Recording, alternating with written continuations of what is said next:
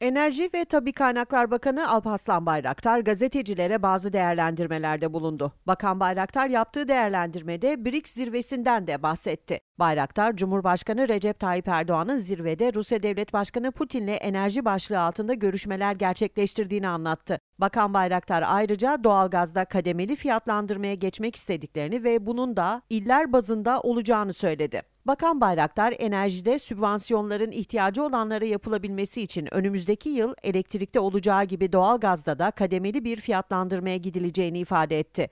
Az tüketenin az, çok tüketenin gerçek maliyetini ödeyeceği yeni dönemin ayrıntılarını da anlatan Bayraktar, doğalgazda da elektrikte de olduğu gibi 2025 Şubat ayında kademeli fiyatlandırmaya geçmek istiyoruz ama doğalgazda farklı durumlar da var. Mesela memleketi Erzurum gibi soğuk bir yer olan normal bir vatandaş belki 1200 metreküp tüketiyor. Antalya'da bu tüketim 600 metreküpe düşüyor. Burada iller bazında bir çalışma olacak. Doğalgaz biraz daha komplike ama orada da kademeli fiyatlandırmaya geçmek istiyoruz dedi.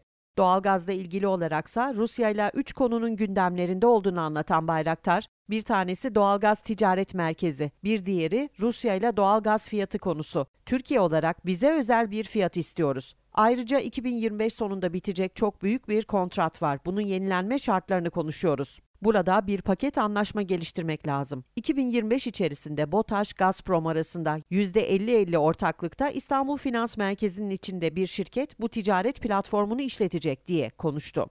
Bu sene kış aylarının doğalgaz açısından enteresan geçebileceğini kaydeden Bayraktar, bu yıl Ukrayna transiti doluyor ve süresi uzatılmayacak gibi gözüküyor. Yani Avrupa'ya Rusya'dan gaz Aralık sonunda ya da Ocak'ta kesilebilir. O zaman böyle gazda Avrupa'da fiyatlar yükselirse bunun bize bir negatif etkisi olmasını istiyoruz. Arz güvenliğinde bir sıkıntımız yok ama fiyatla alakalı negatif etkisi olmasını istiyoruz. Dolayısıyla Rusya ile fiyat ve yeni kontrat süreci önemli, dedi.